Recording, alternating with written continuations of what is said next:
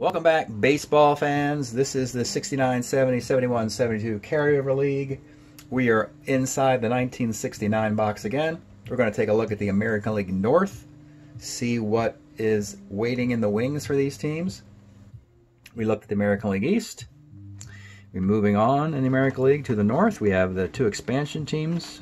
Well, not really. We have the Burlington Expos, Cleveland Indians, Detroit Tigers, and Ohio Players. So starting with the Expos,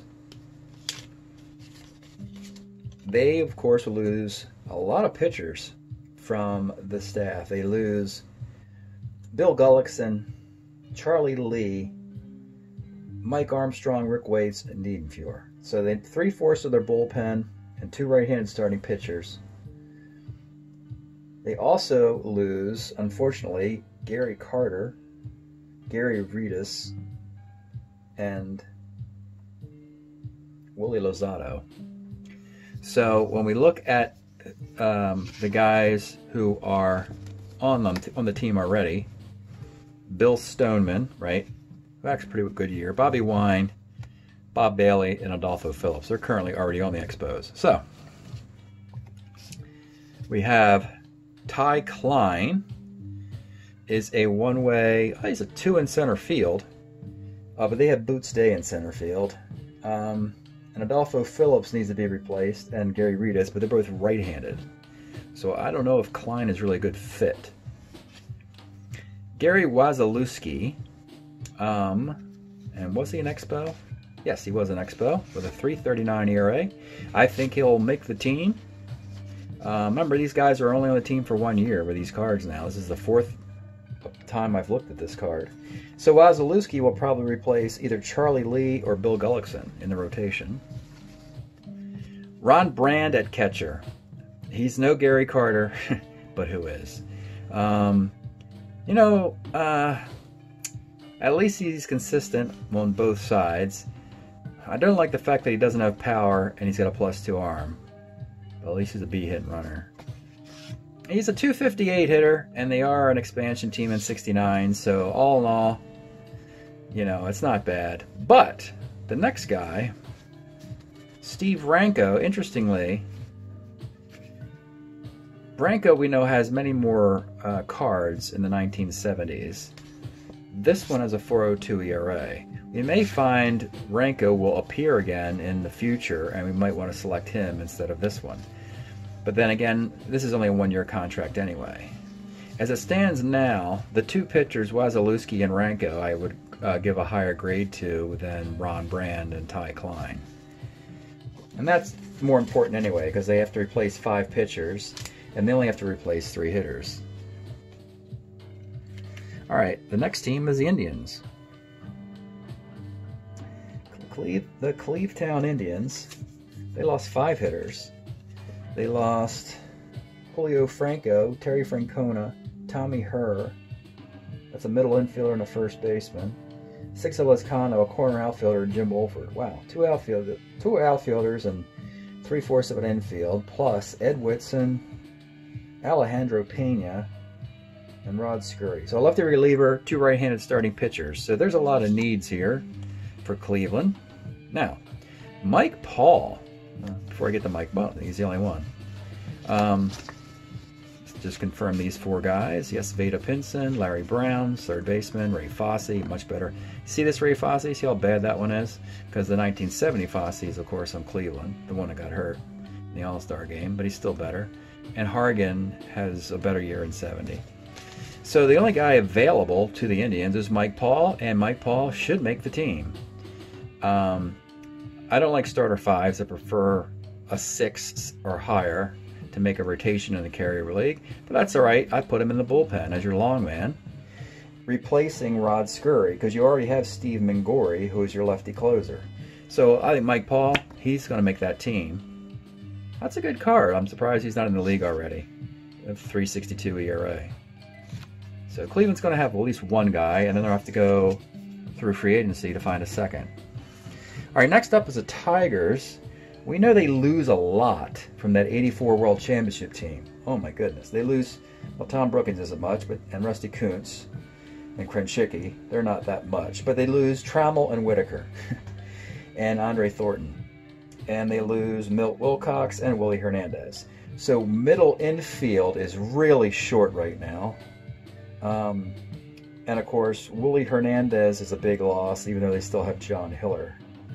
Um, so with the Tigers, I believe Dick McAuliffe would be would be available to replace um, the second baseman. Let's uh, make sure these guys, yeah, Howie Reed's in the currently in the bullpen, as with Hiller and Joe Coleman, Freehan, and Al Kaline. All right, they're current Tigers. Pat Dobson, how about that? Um, you know, it's funny. He's a relief starter here. Um, that's a decent Pat Dobson card. Actually, did pitch for Detroit. Um, he could replace Milt Wilcox, but Wilcox was a starter, and, Will, and uh, this guy is not. Um, Dick McAuliffe, I think, oh yeah, I like this card. I like the two. I like the power and the walks out of a second baseman who can also hit lefties. This is the this is the uh, 47 walks and 271 at bats. He's got another. McAuliffe has another card, I think in 70, where he walked 100 times. So the choice of Dick McAuliffe will be the new Tiger second baseman. It's a question of this year or another year for Dick McAuliffe. So then you have to weigh, well, um, whichever McAuliffe you pick, um, or whichever McAuliffe you don't pick, you want to have a couple guys you pick instead. So let me keep going here. Earl Wilson as a starter seven might make more sense. Oh yeah, 331 ERA might make more sense than Dobson. He struggles a little bit against lefties, but against righties, like that single one to seven and the homer one to four there. And uh, it would be their rotation would be McLain, Lolich, Coleman, and Earl Wilson, and all four would go on a 200 inning rotation. So that's pretty good. And then you have Mickey Stanley. Don't really have the ideal spot for him. He, normally he can play first and the outfield. Here it's just center field. And they have uh, Willie Horton, they have Northrup, they have Kaline, Cash. Um, you could put Stanley in the outfield and move Horton to DH, taking Andre Thornton's spot. But again, you know, 235 and 592 at bats, you have to think you can do better. So from this vantage point, these two guys, McAuliffe and Wilson, make a lot of sense. All right, next up and last up for the division, the Ohio players had a surprisingly good year, uh, getting knocked out in the round of 16 by Kansas City. Oh, they lose a lot of hitters, though. They lose Jesse Barfield, Mike Easler, Chili Davis, Alfredo Griffin, Jerry Mumphrey, and Tony Pena. That's that's an outfield. That's a heck of a good outfield that's gone. Plus a great catch hitting catcher and thrower in Tony Pena. They lose Joaquin Andujar, and they lose Ray Burris. So, wow, it's going to be a pretty wild off season for these cats. They lose a lot of good guys. There is a lot of good guys to choose from.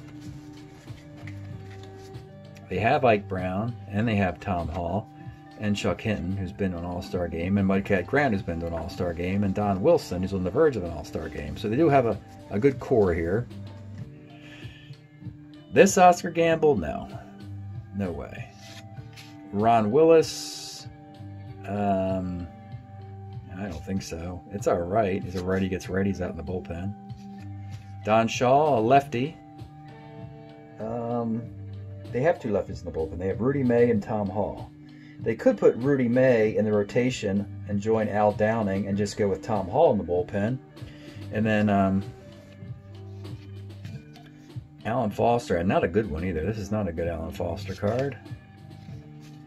Gary Peters, he struggles. He goes on rotation, but he really struggles here. Here's a, replacement for Tony Pena, J.C. Martin, but it's just not very good, is it? No, it's a 209. NJ Elu. Um, he has, it's a 248 year. So, I mean, there's, wow, there's a lot of guys. None of them are really good here. I don't know. This could be a rough off season for the Ohio players because that 84 cast that you just saw in the summer league was pretty outstanding. So it might take a year or two before the Ohio players can play spoiler again. Right now, it's looking like uh, Detroit uh, might be the, again the team to beat in this division. So that's it tonight from the America League North.